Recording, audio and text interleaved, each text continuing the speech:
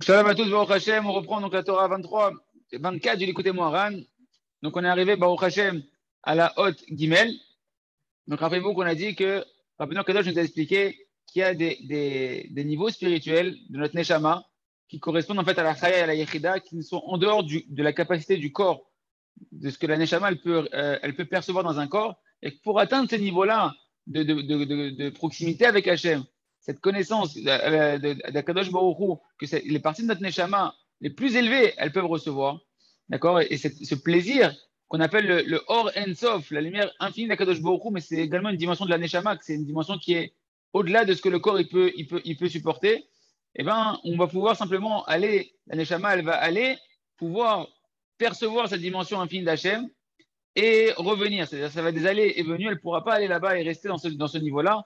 Il y aura comme un, un aller-venu où on va côtoyer un peu ces perceptions d'Hachem, cette proximité avec Hachem, cette douceur avec Hachem, et redescendre de niveau à chaque fois. Et comment on fait ça, il dire à Benoît Kadosh C'est par la simcha. La simcha dans les mitzvot. Alors on m'a dit, on m'a dit euh, ce matin, ouais, mais on comprend pas c'est quoi être simcha mitzvot alors qu'on va boire de l'alcool avant de faire les, les, les, les, mitzvot. On va, on on va, on doit prendre du mashké le matin avant de faire la tfila. Ma pitom, le ikar, c'est ce qu'on va faire dans, vous savez, quand on fait par exemple le Shem Yechot Kucha quand on fait avant une mitzvah, euh, les, les notamment le, le Ben Ishraï, ils ont écrit des, textes qui nous permettent de nous concentrer, de prendre conscience de la mitzvah. Tout le Inyan, c'est avant la mitzvah, même avec tes propres mots. Eh ben, tu vas prier sur la mitzvah en elle-même. Hachem, voilà, je vais mettre les tefilines. Et, tu prends conscience, c'est quoi les tefilines? Bah, Hachem, je vais m'attacher à toi. Avec cette tefilines-là, je vais prendre conscience, comme c'est marqué là-bas dans le texte. Déjà, je vais faire la mitzvah. J'ai le plaisir, j'ai la chance de pouvoir te servir à Kadosh Baruch Aide-moi aide à ressentir la douceur dans les tefilines. Aide-moi à m'attacher à toi dans les tefilines. Aide-moi à Kadosh Baruch à faire la mitzvah Bessimcha de la méode, à sentir la douceur qu'il y a dans les tefilines, le feu qui est connecté avec toi. Kadosh aide-moi avec mes tefilines, de pouvoir préserver mes pensées, préserver mon cœur. De pouvoir Mais qui une personne, elle doit prier jusqu'à ressentir le srout extraordinaire qu'elle a de faire les mitzvot et de faire les mitzvot. Bessimcha de la méode, chacun à sa manière. Et même si tu. Le matin, rappelez-vous, on avait expliqué par exemple comment le tam, dans le, dans conte du sage du simple, il, il, se renouvelait constamment. Faire comme si c'est la première fois que tu mettais de filine. Faire comme si c'est aujourd'hui ta bar mitzvah. Et que, et, que tu as conscience, à chaque fois tu vas, avoir, tu vas avoir une conscience beaucoup plus grande. Et de faire et de s'efforcer d'être véritablement joyeux quand tu mettais de filine, comme si tu gagnais un milliard de dollars. Si jamais maintenant je te donne un milliard de dollars dans les mains, comme ça, comment tu vas être? Tu vas être en train de danser, en train de sauter en l'air, etc.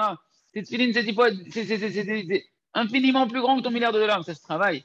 Cette conscience-là, elle se travaille il faut la travailler pour qu'au moment où j'accomplis la mitzvah, et chaque mitzvah, pas que les tefilines, chaque mitzvah, je fais une tiasedaïm le matin, je mets mon talit de katan, chaque mitzvah que je fais, je mets pas sur la tête, d'être besimcha, de sentir que c'est à chaque fois, c'est, tu, tu retiens de recevoir encore un milliard de dollars, encore un milliard de dollars. Ça se travaille. C'est un travail. Et il me dit, Rabbi, ce travail de la simcha des mitzvot, c'est lui qui nous permet de monter de niveau et de pouvoir faire tomber toutes les écorces du mal, de la tristesse, toutes les écorces du mal qui nous empêchent de, de, de connaître Kadosh Baruch et, et, comme ça, en réalité, on va pouvoir s'élever de niveau en niveau. Donc maintenant, on reprend la haute guimel. C'est un peu profond, mais on va essayer de descendre les choses pour nous. Donc chez Adam, osé mitzvah, yesh koar mitzvah, l'eler ou l'horer, kol olamot la vodeshem mitzvah. Il dit, Rabbeinu, quand maintenant une personne, elle va faire une mitzvah, peu importe la mitzvah, en potentiel, cette mitzvah, elle a la force de pouvoir réveiller tous les mondes spirituels à servir à Kodosh Baruch Qu'est-ce que ça veut dire de réveiller les mondes spirituels, servir à Kadosh Le monde entier, le monde entier, il est vitalisé par les âmes du Ham Israël. On est, on est, nous, on est le Nefesh Raïm, on est, on est, on est l'âme vivante du monde entier, chacun d'entre nous. Le monde il a été créé pour Israël. Et chaque partie du monde, elle dépend d'un Ben Israël. Maintenant, quand toi, tu te, quand toi, tu te réveilles à faire une mitzvah, quand toi, tu te réveilles à faire une mitzvah, euh, n'oubliez pas que nous, tout le Ham Israël, ils sont à Revim Zelazé. On est tous connectés les uns aux autres. On est comme un arbre, un arbre avec qui, qui chacun, il peut être une, une feuille, une branche, une petite branche, une grosse branche, mais on est tous rattachés les uns aux autres. Et quand il y en a un qui s'éveille, quand il y en a un là-bas qui va véritablement se réveiller, ben c'est tout l'arbre qui va se secouer. C'est toutes les neshamot du Israël qui peuvent se réveiller. C'est-à-dire que par ta et Simcha, tu peux, apporter un éveil au service divin chez ta femme, tes enfants, tes amis, des gens que tu connais même pas du Israël qui sont extrêmement loin, même des goïms qui vont pouvoir peut-être se réveiller à vouloir revenir, à, vouloir connaître Akadosh Baruch Tout ça pourquoi? Parce qu'en réalité, tu te réveilles à faire une mitzvah besimcha. Et la mitzvah, en potentiel, elle, peut réveiller le monde entier et ça va dépendre de la simcha que tu vas mettre. La puissance d'éveil qui va se passer dans les mondes, et donc dans les âmes et dans, dans, les, dans les consciences des gens qui sont éloignés de toi, eh ben, ça va dépendre de la simcha que tu vas mettre dans la mitzvah. Ou Shadam Oseze Mitzvah. Yeshkoar Ben Mitzvah, il y a la force dans cette mitzvah-là d'aller, de réveiller les mondes entiers au service divin.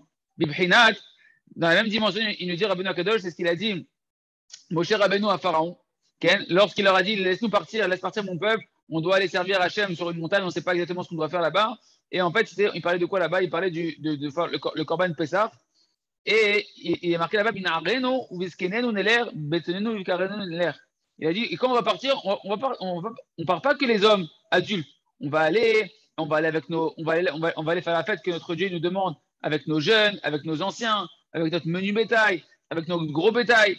C'est quoi cette dimension qu'il il, il, lui montre tous les. Il va jusqu'aux animaux, etc. Il parle des anciens, des jeunes, des animaux. Pour lui dire en réalité, il veut nous dire ici, mon cher il nous cache un secret ici, que lorsqu'on va faire la mitzvah qu'Hachem nous demande, Hachem nous demande, là c'était le Korban Pessah. Eh bien, Moshe est en train de nous dire ici, sache, quand tu fais une mitzvah, si tu la fais avec entrain et avec ferveur, tu vas réveiller tout le monde, la femme, les enfants, les, anciens du peuple, les, menus bétail, même les animaux, ils vont être imprégnés. Comme on voit dans la Gemara qu'il y avait des animaux qui étaient imprégnés de la gdoucha de leur maître qui faisaient le Shabbat, des, choses extraordinaires. Mais, au-delà des animaux, déjà rien que prendre conscience, si on veut descendre à notre niveau à nous, ta femme, tes enfants, qu'est-ce qu'ils font qu'ils se réveillent, qu'ils ne se réveillent pas au service divin? Qu'est-ce qu'ils font qu'ils vont se réveiller, qu'ils vont vouloir aller dans ton chemin, dans le chemin de la Torah, dans le chemin de la Torah de Rabbeinu Akadosh Est-ce qu'ils vont te voir faire les mitzvot de Simcha Et même s'ils ne te voient pas, si toi le matin, si toi partout où tu es, où tu fais tes mitzvot, tu les fais Besimcha, eh bien, véritablement, c'est un cohort de réveiller et d'influencer les âmes qui dépendent de toi et de les, influencer à rentrer dans le service divin. D'ailleurs, c'était toute la Takana de Chachamim à Chanukah. Yavan, c'était l'obscurité. Les Grecs, c'était l'obscurité. Ils sont venus interdire la Torah. Ils voulaient éteindre la lumière de la Torah, la joie de la Torah, la joie du service divin. C'est pour ça que les, les ils ont institué à Chanukah de devoir remercier Hachem. Tout le lien de Chanukah, c'est de remercier et louer Hachem. Pourquoi ils ont dit le Ravarouche parce que pourquoi les gens ils s'hellénisaient Pourquoi les gens devenaient comme des Grecs? Pourquoi ils se, convertissaient euh, à la religion grecque, entre guillemets, à la non-religion grecque? Pourquoi ils abandonnaient le judaïsme? Parce qu'ils n'étaient pas dans la joie des mitzvot. S'il n'y a pas de joie dans les mitzvot, si tu ne cherches pas à te rendre compte combien tu es, méritant de faire les mitzvot, que c'est un cadeau extraordinaire, pas que toi tu fais Hachem, mais que Hachem il te fait! Quand tu fais une mitzvah, alors à ce moment-là, toute la lumière du judaïsme, toute la lumière de la Torah, elle n'est pas là et tu n'as pas la force ni de te réveiller toi-même au service divin et même les autres. Le rabbi, c'est la raison pour laquelle les enfants quittent la Torah, Shalom. On voit des familles religieuses, les enfants quittent la Torah, ou les, les, femmes, elles, ne veulent plus mettre le kissouille roche parce qu'elles ne voient pas la lumière, elles ne voient pas la douceur, elles ne voient pas le kiff qu'il y a dans la Torah. Et ce kiff-là, il dépend de la simcha. Ta simcha, ma simcha qu'on va avoir dans les mitzvot. Malchut, Malbish, Netzar, Rappelez-vous ce qu'on avait dit? Là, on rentre dans des profondeurs plus abstraites, mais hier, on avait expliqué longuement que quand maintenant une personne elle fait les mitzvot, concrètement, elle rentre dans les mitzvot, elle va faire des actions ou elle va faire des mitzvot. C'est marqué ici, Zeprinat Malchut, c'est la dimension de la sphère, la sphira de la royauté, qui va habiller les sphirotes qui sont au-dessus d'elle, qui sont Netzar, Hod, Yesod. D'accord L'éternité, Hod, c'est la splendeur, Yesod, c'est le, fondement. Shem, Kle, Alicha, qui sont en réalité au niveau spirituel les instruments de la marche, de la marche euh, spirituelle, ce qui va nous permettre de marcher spirituellement ou la shrina, de, donner des pieds à la shrina kaviachol. On va expliquer un petit peu de quoi on parle. Hier, on a dit, rappelez-vous, on a dit qu'il y a quatre mondes. Il y a le monde, du, monde le plus, on va dire, le plus intérieur, le plus proche d'Akadosh Baruch là-bas on perçoit le plus Akadosh Baruch avec des mondes plus extérieurs, qui sont des mondes qui vont être, quand on dit des mondes, c'est des perceptions d'Akadosh Baruch d'accord? Des mondes qui vont être plus extérieurs, où là-bas Hachem il est beaucoup plus masqué, où on sent beaucoup moins Hachem. Ou bien des mondes, on peut les voir, soit, soit on peut les voir de l'intérieur à l'extérieur, soit on peut les voir de haut en bas, d'une élévation à une descente. Il y a Atzilut, après, il y a, on a vu, qu'il y a Beria. Après, il y a Yetzira. Et après, il y a le monde de la Asiya, le monde de l'action. C'est le monde où la plupart d'entre nous, dans la perception de la chaîne, on se trouve nous. On est dans l'action. Et dans l'action là-bas, eh ben, c'est difficile de voir un Baruch parce qu'on se voit nous agir.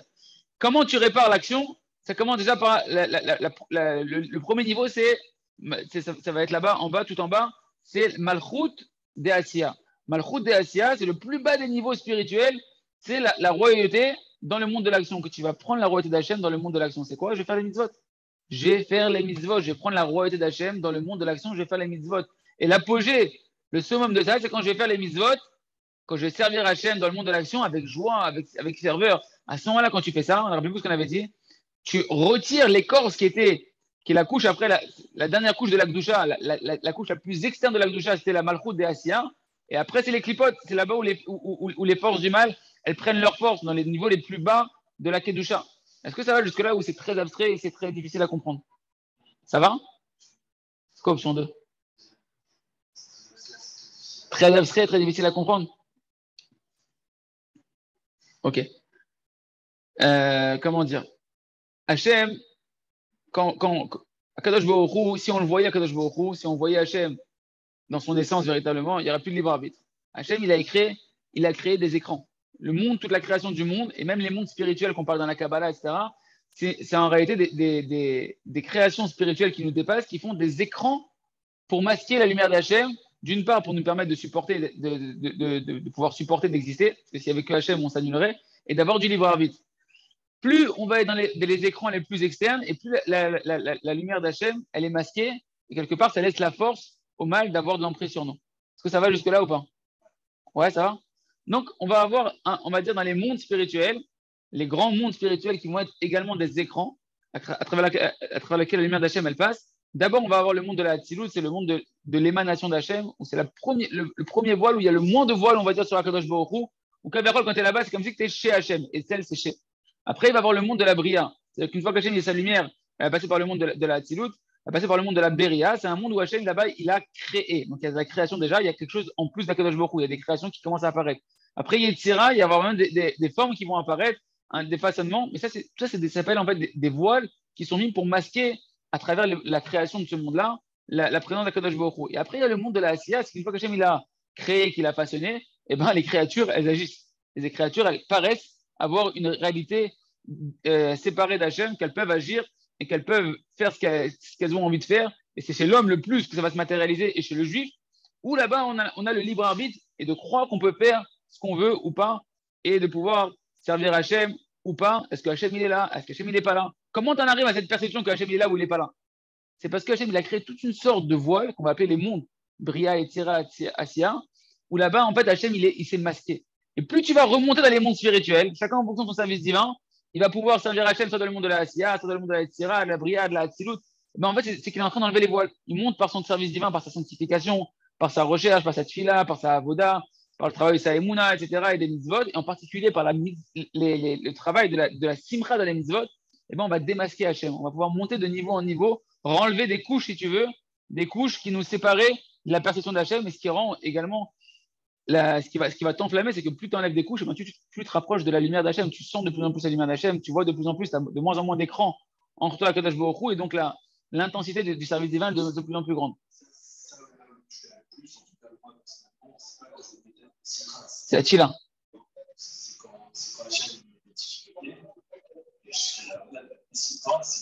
Bien sûr, parce que qu'est-ce qui se passe avec les difficultés? Israël qui nous dit, c'est quand que chez moi ça se réveille le plus, l'engouement du service divin, etc., c'est quand Hachem met des difficultés et que je les combats pour pouvoir tenir dans ma imuna, etc., ben je sens que je, je m'enflamme.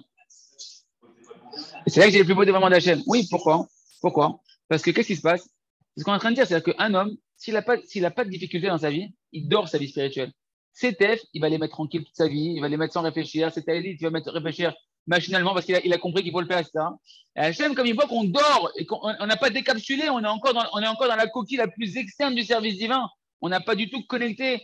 Quand tu vois des tzadikim, comme tu peux voir ici, bah, Hachem, que tu vois, ils sont en feu quand ils font la tila, qu'ils sont en feu dans chaque mitzvah, ils sont, ils sont en feu parce qu'eux, ils ont décapsulé, ils ont enlevé tous ces écrans-là. Mais comment Hachem il fait pour nous réveiller à ça? Eh bien, il met des épreuves. Il met des épreuves pour dire, hé, réveille-toi, tu dors, mon fils. Tu n'es pas connecté encore, tu es, encore très déconnecté. Le, travail que tu vas faire, il va te permettre de pouvoir. Euh, de pouvoir décapsuler tout ça.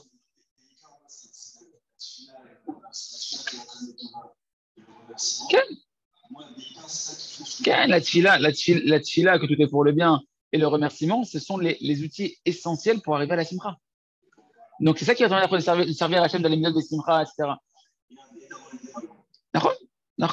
Mais, mais tu, ce dévoilement, tu le trouves.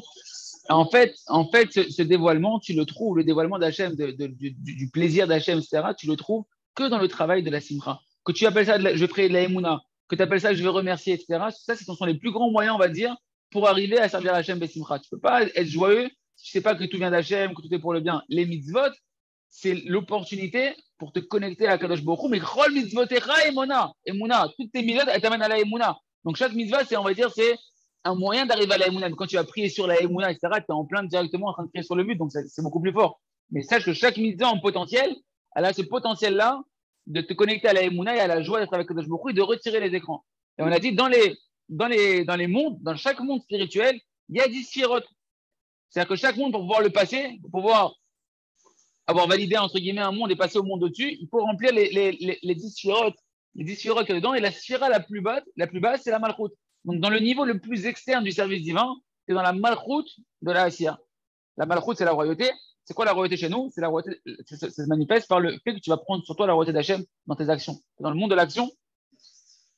Alors non, alors, il y a deux possibilités. Quand je prends sur moi la royauté d'Hachem dans le monde de l'action, soit je le fais avec tristesse, ou soit je le fais avec joie. Et plus je vais le faire avec joie, et plus je vais et en fait, c'est ce qu'il va dire Rabbeinu ici, je vais, je vais passer, c'est quoi ce qui est au-dessus de la royauté? C'est Netzar Od Yesod, et c'est considéré comme les jambes. par rapport au corps humain, Dieu a créé l'homme à son image par rapport au corps humain, tel que nous, on comprend les choses, qu'on est, on est créé en tant qu'humain, comme ça on peut percevoir Kadosh Baruch parce que Hachem nous a créé à son image.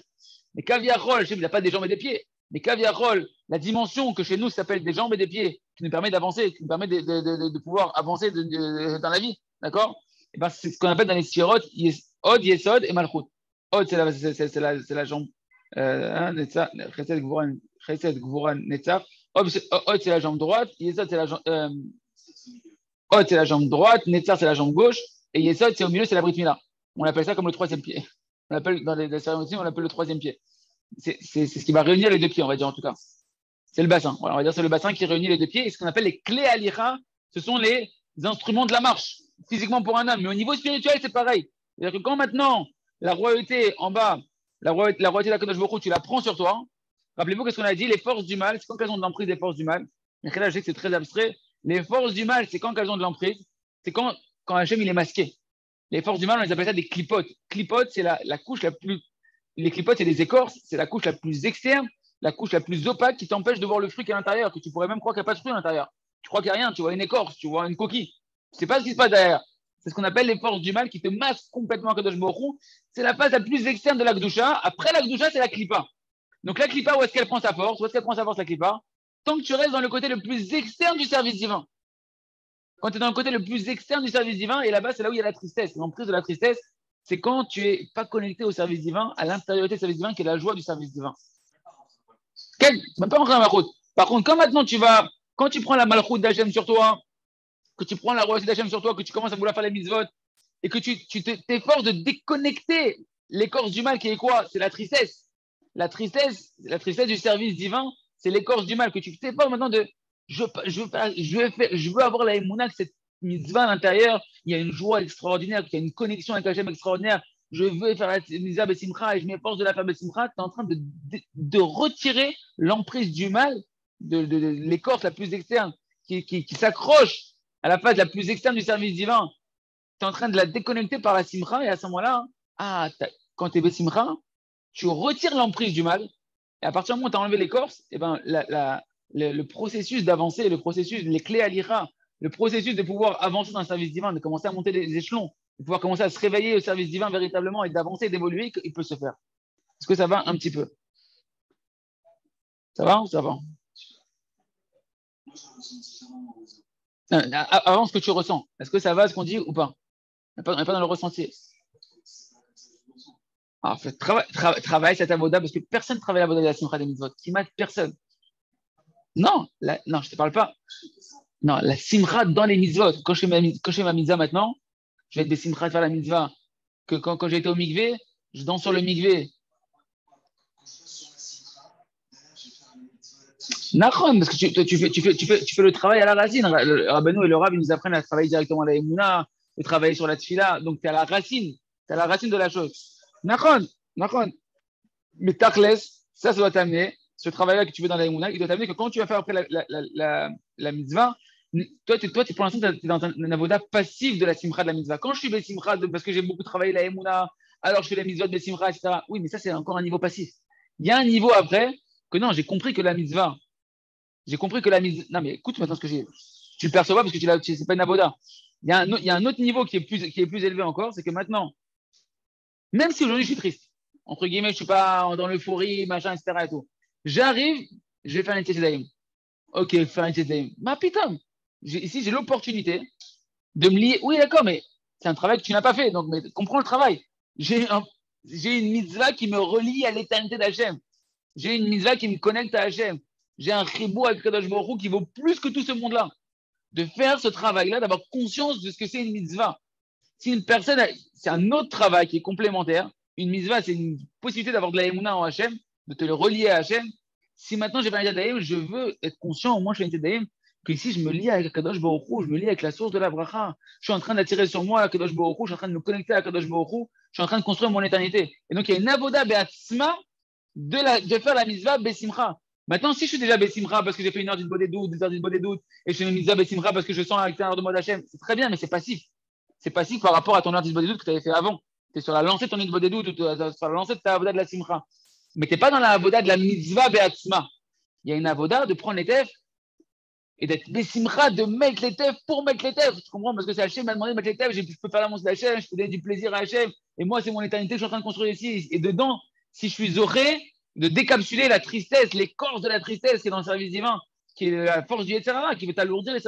Je, je veux, je veux pas être dans, le, dans, le, dans la monotonie du service divin.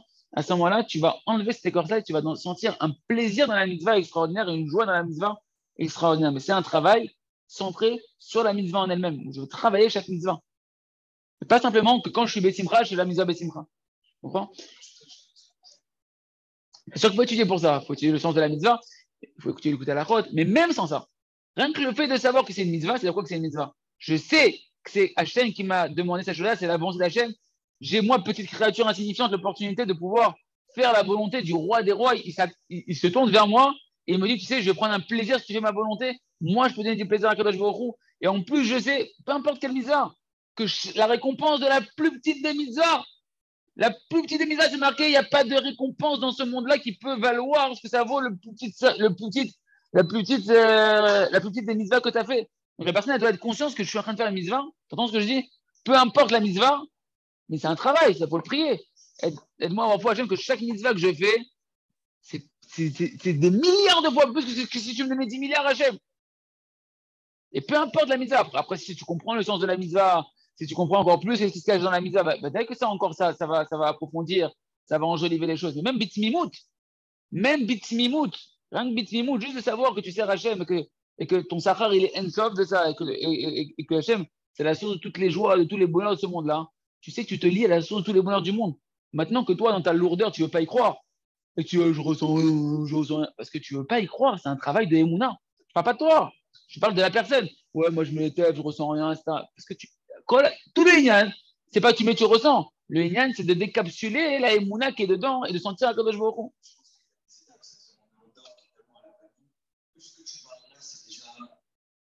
Au contraire, on a un dor qui est tellement à la panine qu'on a une potentialité de ressentir énorme.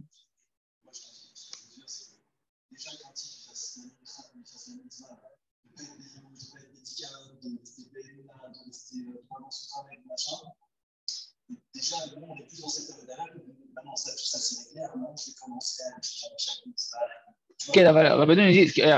maintenant, ça, expliqué, on a expliqué tout ça, on reprend dans les mots et vous allez comprendre, et c'est un peu la question que tu dis. Yitzhak qui dit, nous, on est tellement dans une avoda déjà d'être droit, de pouvoir bien se comporter, etc., que la joie dans les mitzvahs, de ne pas, être déprimé, etc., que de faire la mitzvah chaque mitzvah simcha, pour nous, c'est une avoda qui est trop dure. Et ce qu'il nous dit Rabbeinu. Pourquoi Rabbeinu insiste là-dessus? Il nous dit, La royauté, la royauté, c'est quand tu vas prendre sur toi la royauté d'Hachem, tu fais les mitzvot Besimcha.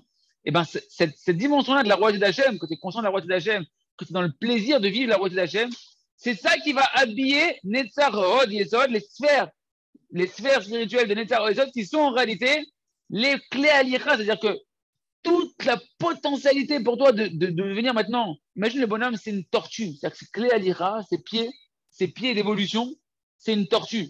Il, avance que ça, ta, ta, ta, ta, ta, dans le service divin. Tu veux devenir un lièvre, tu veux devenir plus qu'un lièvre, tu veux devenir, euh, je sais pas, c'est qui qui a gagné le. Tu veux devenir une Formule 1, tu veux devenir une fusée dans le service divin. ça va dépendre de comment tu vas enflammer les pieds, comment les pieds, la notion des pieds, elle va s'enflammer. Et ça, ça dépend de quoi De la joie des, des, des, C'est-à-dire que, ok, c'est-à-dire le bonhomme, il veut, Alva, que je fais déjà ça, je fais déjà ça, très bien. Mais tu as un potentiel. Si, toi, tu avais la Emouna, que tu as un potentiel de Ferrari numéro euh, qui vient de sortir 2021. 2022 Pourquoi, si, si je suis dans une Ferrari 2022, pourquoi je vais rouler comme si je suis sur une trottinette, même pas électrique? Pourquoi je vais, rouler comme si je suis un mec à pied avec des. Il y a des étapes. Mais cette étape-là, c'est Kodem Kol. On la botte Hachem Besimcha. Hachem Ta'azor dit Je veux te servir Besimcha. Je veux te servir dans cette mise-là, je veux te servir Besimcha. Alors, on continue. Ok. Veze Bechinat, Torah Teloka Velibo, Lotiman Ashurav. Dire, c'est ça le sens du verset dans, dans, dans 37. La Torah d'Hachem, elle est dans son, dans cœur, et ses pieds, n'ont pas à déraper, ils n'ont pas à glisser. C'est quoi que la Torah d'Hachem est dans son cœur Rabbeinu veut nous dire, la Torah d'Hachem, c'est toutes les mitzvot. Comme maintenant, toutes les mitzvot d'Hachem, je les fais dans mon cœur. C'est quoi Je les fais avec mon cœur. On a expliqué que le cœur, c'est la dimension soit de la joie, soit de la tristesse. Quand maintenant, je fais la Torah, pas que l'étude de la Torah, même l'étude de la Torah, mais la pratique de la Torah, c'est-à-dire toutes les mitzvot, eh ben, elles sont dans mon cœur. C'est-à-dire que je les fais maintenant, chaque mitzvah, je les fais avec du cœur, avec, avec, avec de l'amour, avec de la simra, et que je travaille sur ça.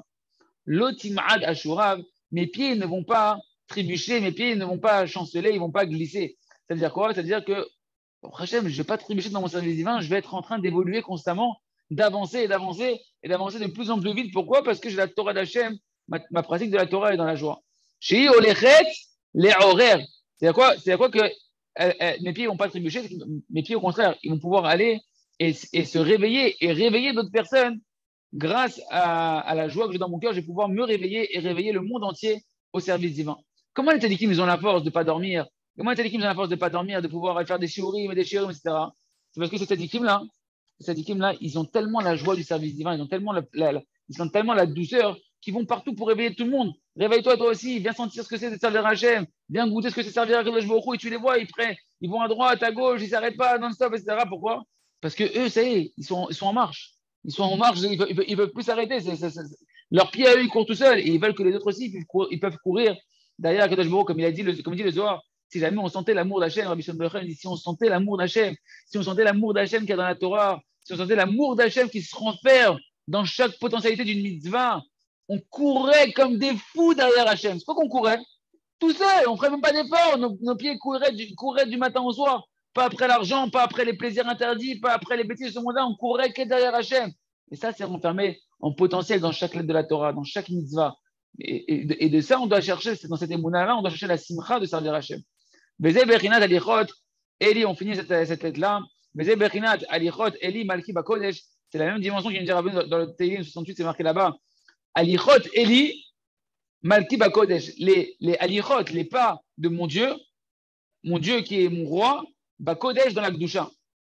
C'est quand, c'est quoi le sens de ce verset-là? Les, pas de mon Dieu qui est mon roi, Bakodesh dans, dans la sainteté. C'est qu'en réalité, Malki Bakodesh, c'est-à-dire lorsque je fais chez Maalin, Malchut, les Torah Gdusha. Quand je vais dans la dimension de mon roi qui est dans la Gdusha, c'est comme mon roi qui est dans la Gdusha. Mon roi, c'est la dimension de la royauté quand je prends la royauté d'Hachem quand je prends la royauté de Baruch sur moi, quand je vais faire les mitzvot, que je crois en Hachem que c'est le roi qui me demande de faire des choses et je fais les mitzvot, Besimcha, à ce moment-là, je les fais monter, je fais monter la royauté dans la Gdusha, j'élève la royauté d'Hachem, j'élève toute la notion spirituelle, je la déconnecte de la Touma, de la tristesse du service divin et je lui permets de s'élever. À ce moment-là, Alichot Eli, ça va être, je vais mettre en, marche les pieds de mon, de, mon, de mon Dieu. Entendu, je vais pouvoir commencer à mettre en marche tout l'éveil des mondes entiers à connaître Akadosh Baruch réveiller toutes les Neshamot du Ham Israël, etc. Kim al c'est-à-dire que la royauté d'Hachem, maintenant, elle va habiller, elle va devenir comme un, un, vêtement qui va habiller les pieds de mon bien-aimé. Tu vas pas sortir dans la rue courir si tu n'es pas revêtu. Pour aller courir dehors, il faut que tu mettes des vêtements. Quelqu'un, il peut avoir des pieds qui fonctionnent.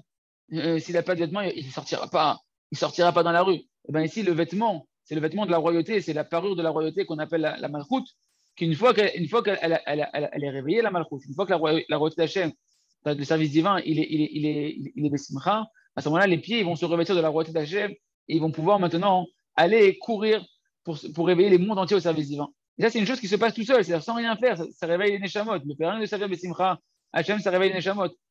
Malbechet et Alichot Eli, c'est quoi que ça va habiller Donc, Alichot Eli, les pas de mon, de mon, de mon, de Dieu, c'est les dimensions de Netzar, Rod, Yesod, c'est ces sphirotes qui correspondent à la possibilité d'avancer et, de réveiller et de réveiller les autres, les lèvres ou l'horaire, kol advarim la et bien cette simcha, elle va donner la force de pouvoir réveiller toutes choses au service divin. Toutes les choses de ce monde-là vont vouloir servir Kadosh Baruch En résumé, plus tu vas faire les mitzvot des simcha et tu vas te, à tous les conseils que tu veux, à que tu fasses les mitzvot, besimcha, eh ben, tu vas te réveiller et réveiller le monde entier au service divin. Ça, c'est le, le, conseil pratique. Et, et à la c'est ta femme, tes enfants, les premiers vont bénéficier de, ton service divin s'ils te voient, et même s'ils ne te voient pas, parce qu'ils sont conscients ou inconscients, si tu sers Hachem, Besimcha, leur Neshamot, elles vont vouloir servir à Kadosh Baruch ça va révéler leur Neshamot. Yot, Tamid Besimcha, dans le service divin, Chazak, Benit Chazak.